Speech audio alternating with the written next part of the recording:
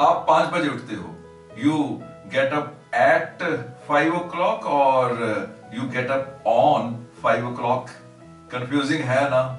चलो, आज की इस वीडियो में यही डिस्कस करते हैं कि टाइम बोलते समय एट ऑन एंड इन ये प्रेपोजिशंस कैसे यूज़ करनी है, कैसे बोलनी है। नमस्ते, सत श्रीकाल आदाब। टी एस मदान, आपका दोस्त, आपका हम सफ़र।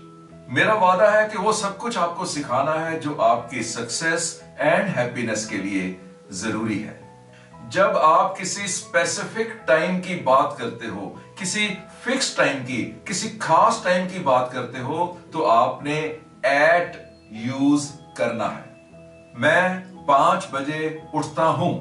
I get up at five o'clock Rajdhani Express छह बजे छूटती है। Rajdhani Express leaves at six P M मैं रात को 10 बजे डिनर करता हूँ। I have my dinner at 10 P M मैं आधी रात को टीवी देखता हूँ। I watch TV at midnight और मिडनाइट का मतलब है रात के 12 बजे। और अब यहाँ भी ये स्पेसिफिक है। और यहाँ भी एट यूज़ करना है। I watch TV at midnight दोपहर का, यानी नून का भी स्पेसिफिक टाइम ही होता है, यानी 12 बजे। तो नून के लिए भी एट ही यूज़ होना है। I avoid television at noon जब टाइम स्पेसिफिक हो तो आपने एट यूज़ किया। ऐसे ही जब किसी हॉलिडे की बात कर रहे हो, तब भी एट यूज़ होना है। एंड द रूल इज़ वो हॉलिडे दो या दो से ज़्यादा हो। We normally do get togethers with our relatives at Christmas हम आमतौर पे अपने रिलेटिव्स के साथ क्रिसमस पे गेट टूगेदर करते हैं। लेकिन अगर हम बात कर रहे हैं किसी स्पेसिफिक दिन की, किसी स्पेसिफिक डे की, से मंडे ट्यूसडे या वेंसडे तब ऑन यूज़ होना है। इवन वो डेट भी हो सकती है। I'll call you on Monday. I distribute wages on 7th of every month. We got married on Sunday the 28th. I purchased this watch on New Year Eve. I had sweets on Diwali.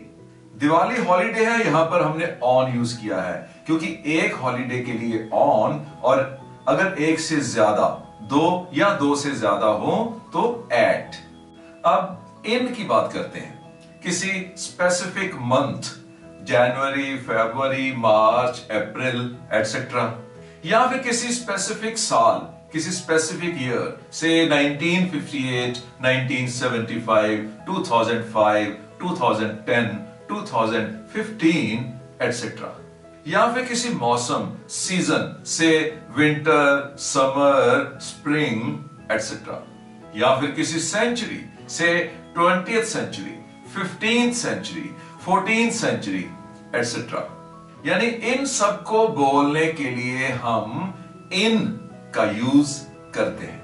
Examples my wedding anniversary is in December हमने यहाँ पर date नहीं बोली है, सिर्फ़ month बोला है।